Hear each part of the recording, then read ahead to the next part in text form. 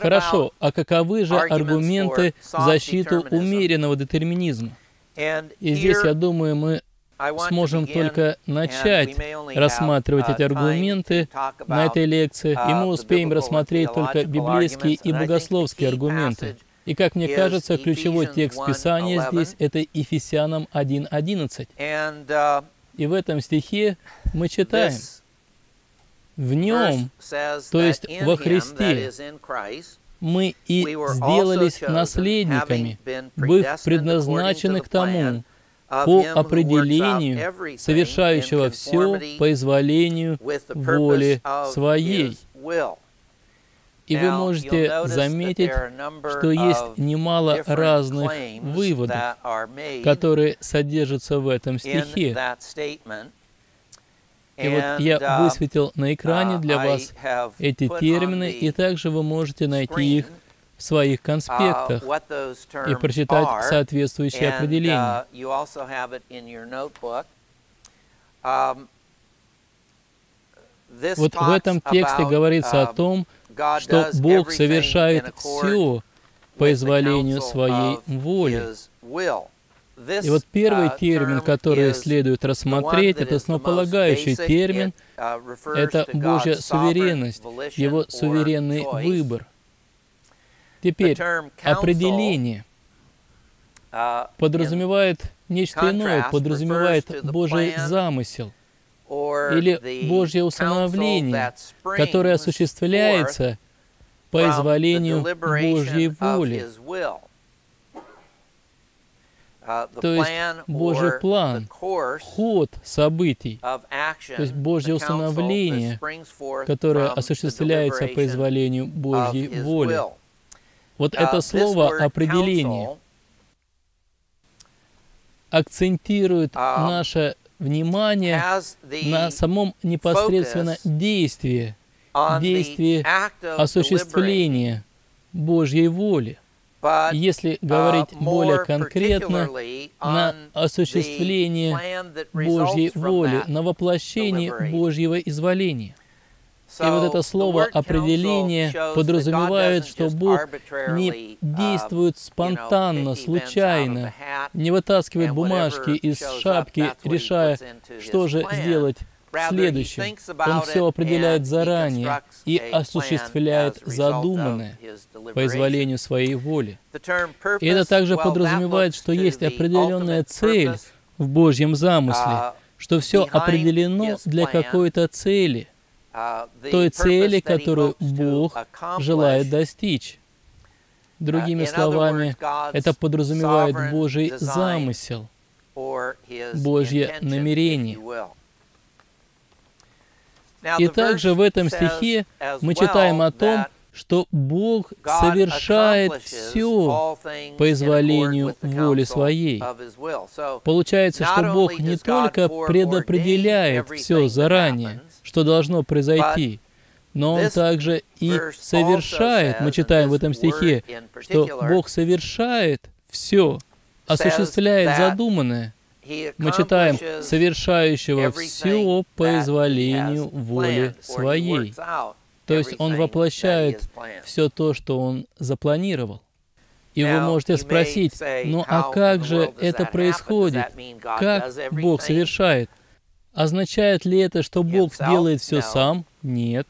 Да, есть то, что Бог и только Бог может совершить, и Бог делает это сам. Но большая часть из того, что происходит в нашем мире, совершается посредством Божьего творения, будь то людьми или ангелами. Хорошо, теперь давайте посмотрим, чему же учит на самом деле этот текст Священного Писания. Я думаю, что этот текст можно разбить на несколько частей. Um, Во-первых, можно сказать о том, что у Бога есть цель, которой подчинено все. Uh, и мы можем, а можем и не знать, в чем заключается эта цель в каждом конкретном случае. И эту цель определяет только лишь Бог, и ничто вне Его. Он определяет эту цель по своему изволению. И затем вот эту цель, этот замысел, который Он определил, Он совершает по своему изволению, причем совершает наилучшим образом, чтобы достичь поставленной им же цели. И вот, поставив цель, предопределив эту цель, рождается некий замысел, который затем осуществляется, становится реальностью. И, следуя этому замыслу, Бог совершает все то, что должно быть совершено. Совершено для того, чтобы этот замысел осуществился. В каких-то случаях ему не так и много нужно для этого uh, сделать, а в каких-то случаях надо сделать намного больше. Uh, а так как мы с вами все охотно совершаем грех, uh, то Богу по этому поводу ничего не нужно делать. Мы сами охотно совершаем грех.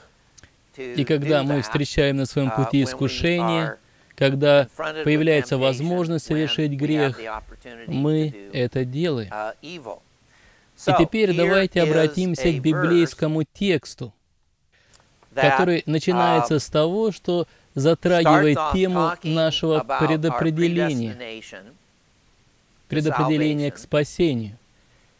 И затем тема стиха расширяется, и говорится уже о том, что мы предопределены в соответствии с целью Бога, который совершает все по изволению воли Своей. Uh, И не только наше предопределение к спасению включено в Божий замысел, не только это Он установил uh, в соответствии с изъявлением Своей воли. Все сюда включено. А если именно об этом идет речь в этом тексте Священного Писания, то получается так, что Бог um, контролирует в действительности все, что uh, происходит в этом мире. А если действительно так, если Он все контролирует, то, похоже, не остается места для либертарной свободной воли.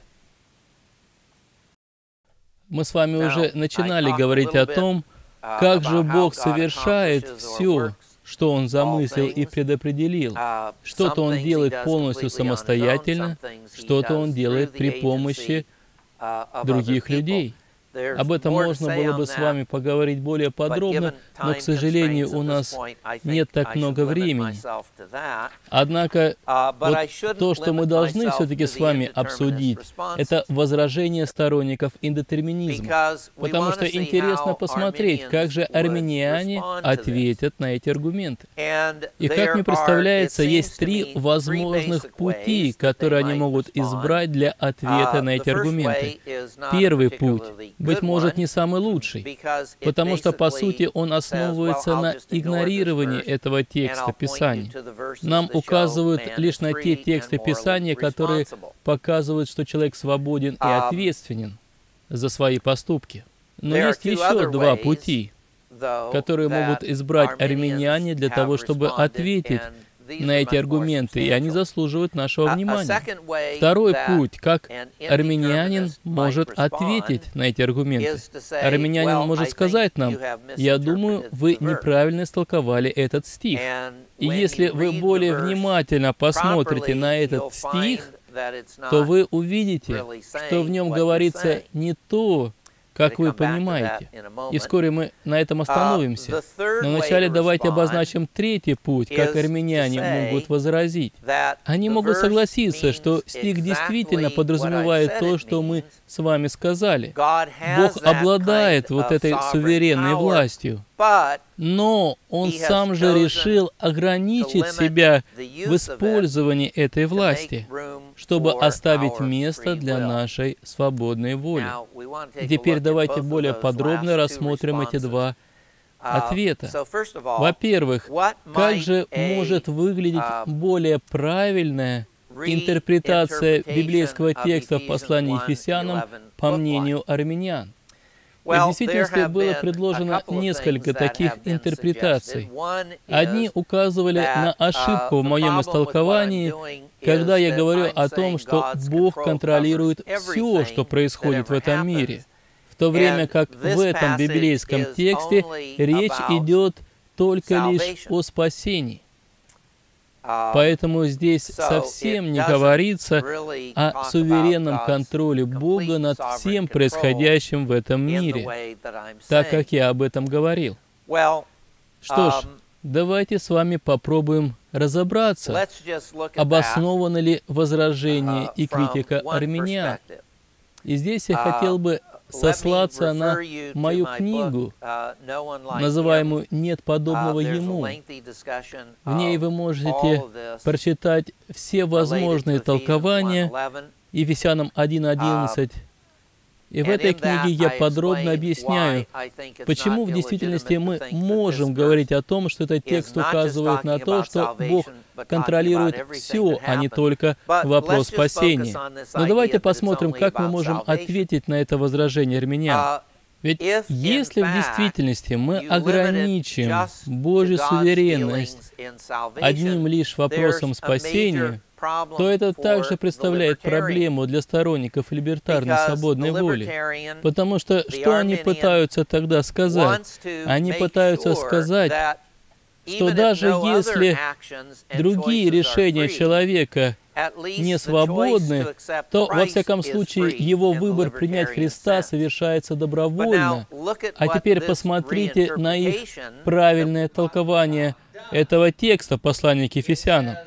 Они говорят, что ж, когда доходит дело до вопроса спасения, то вот тут кальвинисты как раз правы. Бог обладает абсолютным контролем в этом вопросе. Он предопределил к спасению.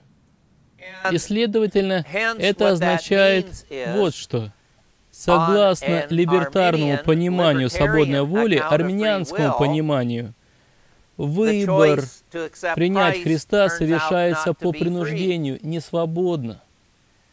Поэтому, если они хотят толковать иначе текст послания к Ефесянам 1.11, говоря, что здесь речь идет только о спасении, то это им совсем не помогает, потому что в этом случае они признают, что действительно имеет место детерминизм в вопросе спасения, в вопросе принятия Христа, как раз того решения, относительно которого армяне настаивают, что это решение свободно с либертарной точки зрения.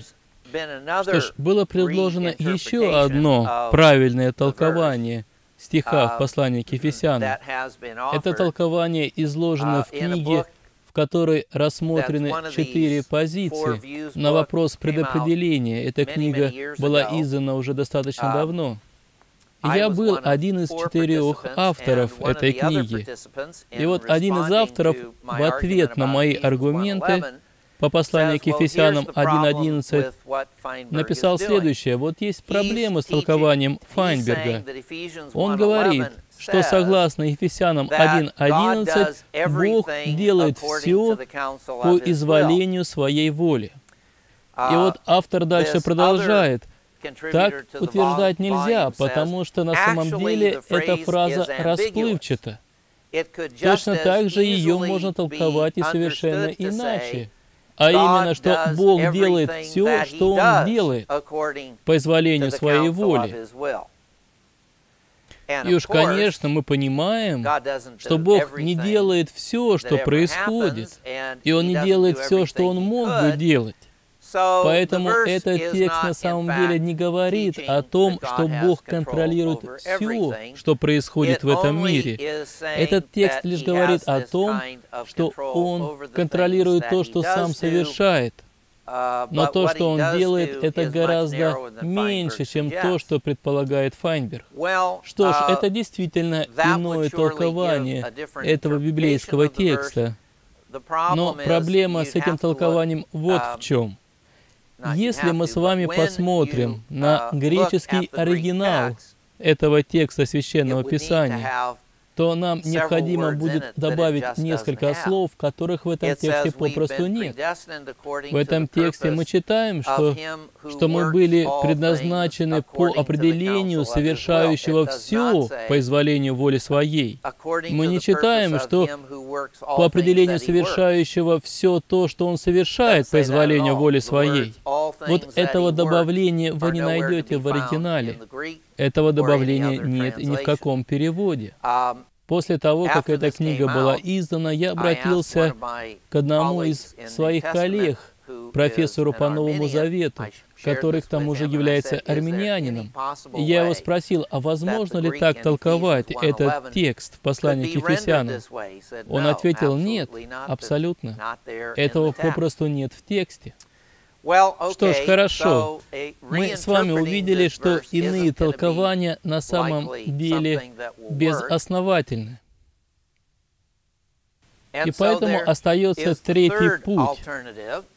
И он заключается вот в чем. Сторонники индетерминизма иногда говорят, uh, относительно ли этого текста Писания или какого-либо другого, они говорят, uh, да, Бог обладает суверенной властью, как учит нас этот текст Писания и как говорят кальвинисты, но uh, Бог сам принял решение не использовать эту власть, всю ту власть, которую он обладает. И почему же Бог решил не использовать всю свою власть? Да потому что если бы он воспользовался своей властью, то не осталось бы места для либертарной свободной воли. Описание учит нас о том, что люди наделены свободной волей то тогда получается, что Бог не может использовать всю ту власть, о которой говорит этот текст Писания, потому что не останется места для либертарной свободной воли. И как мы с вами уже говорили ранее, нигде в Писании подробно не разъясняется, что та воля, которой обладают люди, это именно либертарная свободная воля а не компатибилистская. Поэтому, чтобы ответить на этот вопрос, мы должны воспользоваться логикой. Образовательный ресурс видеосеминарии Святой Троицы – это ваши пожертвования, мудро вложенные в христианское образование. Поддержите наш проект молитвой и финансами. Информацию, о чем молиться и как пожертвовать, вы можете найти на сайте tvseminary.com. Но давайте вернемся к этому тексту. Ефесянам 1.11. Написано ли здесь, что Бог решил ограничить себя в использовании своей власти? Нет. А откуда же армяне тогда взяли эту идею? Что Бог решил ограничить свою суверенность, чтобы оставить место для свободной воли? И вот здесь практически сразу армяне указывают на факт воплощения. Um, И мы с вами уже рассматривали текст, где uh, говорится о киносисе из послания к филиппийцам. И мы с вами говорили о том, что Христос, став человеком, не лишился своей божественности, но Он добровольно отложил в сторону всю ту славу, всю ту силу, которой обладал, будучи Богом, чтобы послужить нашим нуждам. Поэтому всякий, кто считает, что Бог на это не способен ограничить себя в своей власти, должен посмотреть внимательнее на факт воплощения. И что же в ответ на это может сказать сторонник детерминизма? Ну, во-первых, сторонник детерминизма не должен отрицать. то, что записано о воплощении апостолом Павлом в послании к филиппийцам во второй главе, что Христос uh, опустошил себя. И мы с вами говорили о том, что это означает. Мы говорили, что это не означает, что Христос перестал быть Богом. um, Просто Он отложил в сторону и не использовал всю свою власть, все свое могущество и так далее, и далее. Вот все это мы не отрицаем. Но нигде, где говорится о воплощении, Нигде, и в частности во второй главе послания к филиппийцам или в каком другом тексте Писания, нигде не говорится о том, что раз Христос так поступил, то вы должны верить в то, что и Бог так поступает, что Он ограничивает свою силу, свое могущество, чтобы дать место для свободы воли человека. Вы не найдете такого текста в Писании, который бы об этом говорил или хотя бы намекал. Да, но ведь Христос это делал в течение 33 с половиной лет, скажут они. Да, это лишь показывает, что это возможно, что Бог может ограничивать свою власть, чтобы оставить место для либертарной свободной воли. Но нам нужен аргумент, который показывал бы, что он в действительности это сделал и принял такое решение. И недостаточно просто сказать о том, что да, люди свободны, поэтому Бог, скорее всего, так и поступил и принял такое решение. Здесь опять же допускается та же логическая ошибка, которую мы уже обозначили, предвосхищение основания, когда говорится, что свобода — это только либертарная свобода, и посему Бог должен ограничить себя. Вы видите, uh, студенты, что одно дело говорить о том, что Христос в течение 33 с половиной лет uh, ограничивал себя, вторая личность Троицы, ограничивал использование своей божественной силы, чтобы жить среди нас, чтобы совершить дело спасения. И совсем другое дело заявлять о том, что Бог Отец, Бог Сын и Бог Дух Святой в течение всей человеческой истории ограничили себя в использовании своего могущества, чтобы оставить место для либертарной свободной воли. Это совершенно разные заявления.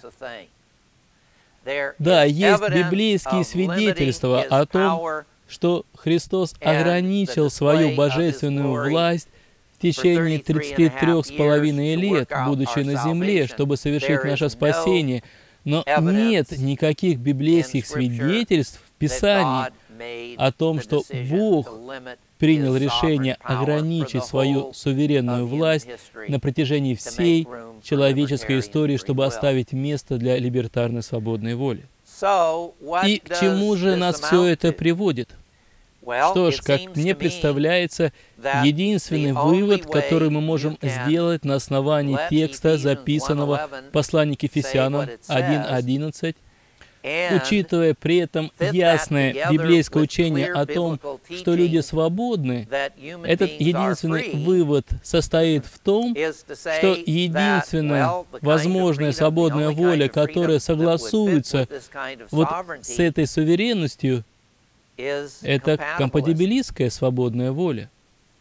И вот поэтому кальвинисты, те из нас, которые придерживаются позиции компатибилизма, uh, верят именно в то, во что они верят, и пришли к тем выводам, к которым они пришли на основании Писания. Uh, Вы можете сказать, ну хорошо, все это достаточно интересно, uh, но время идет, и мы с вами вынуждены пропустить обсуждение философских доводов. Все они приведены в ваших конспектах. Вы можете самостоятельно все это изучить, а также вы можете найти это в книге «Нет подобного ему».